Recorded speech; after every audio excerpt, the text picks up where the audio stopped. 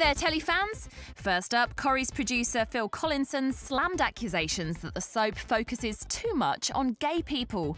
Recent reports have suggested some viewers aren't happy with the number of gay characters who are featured. Collinson says the accusations wouldn't have been made if he wasn't gay himself.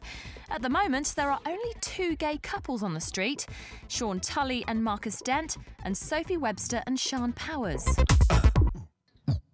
Next up, wild child Mandy Salter's set to become even wilder when she makes her EastEnders return.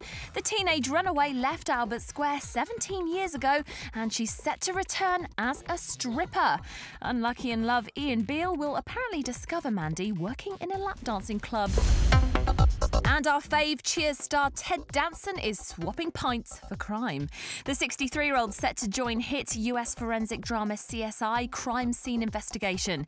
He'll star as the new team supervisor when the next series begins this autumn. The veteran actor's best known for playing Sam Malone in the 1980s sitcom Cheers, as well as starring in Curb Your Enthusiasm. That's all your telegoss for today. We'll be back tomorrow.